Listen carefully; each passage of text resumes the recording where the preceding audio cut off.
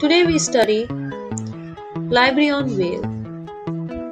Library on Wheels, term coined by. Ranganathan. Library on Wheels is a part of Extension Service which is provided by public libraries. So, Extension Service is a part of public libraries. What is Library on Wheels? A bus have racks in it with all subject books which needed by rural areas people. Service is provided by public libraries to rural areas.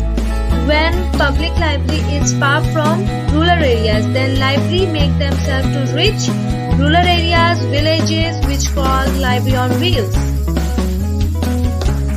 Thank you. Please like, share, subscribe our YouTube